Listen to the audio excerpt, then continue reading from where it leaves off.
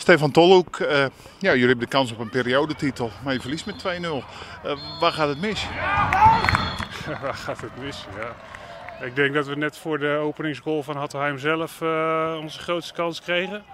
Een mooie bal van over rechts bij Jesper en Sam bij de eerste paal, die hun keeper pakt.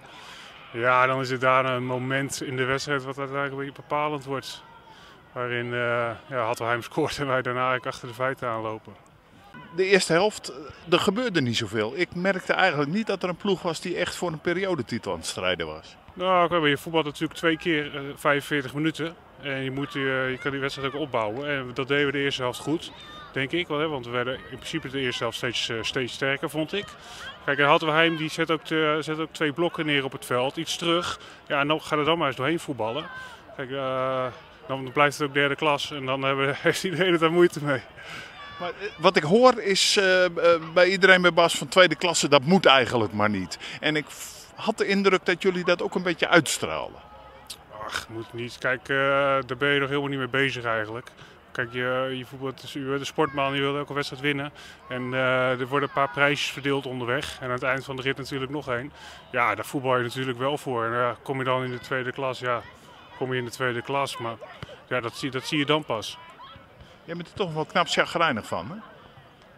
Nou ja, uh, ja, maar dat is straks wel weer verdwenen hoor. Uh, dan uh, relativeren we wel en dan hebben we het gewoon, gewoon een hele mooie periode gedaan. En voor mij is de laatste wedstrijd die we verloren was ja, net na de winst op tegen Zak en daarvoor ook tegen Hattenheim. Nou, dus we hebben een hele mooie serie gehad. En ja, onszelf alleen niet beloond.